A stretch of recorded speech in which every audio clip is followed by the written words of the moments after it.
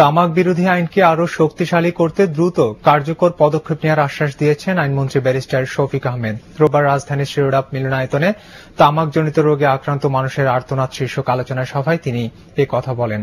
তামাকের ভয়াবহতা কথা তুলে ধরে তিনি বলেন, তামাকজাত পণ্যের বিজ্ঞাপন বন্ধ করতে সর্বোচ্চ দশ লাখ টাকা জরিমানা করার বিধান রেখে বর্তমান সরকার ধূমপান ও তামাকজাত নিয়ন্ত্রণ দু হাজার পাঁচ সংশোধন করতে যাচ্ছেন এই আইনে ষোলো বছরের কম বয়স্কদের কাছে সিগারেট বা তামাকজাত পণ্য বিক্রি নিষিদ্ধ করা হচ্ছে। একই সঙ্গে পাবলিক প্লেসে ধূমপান করা হলে পাঁচশো টাকা জরিমানা রাখা হচ্ছে আইনে।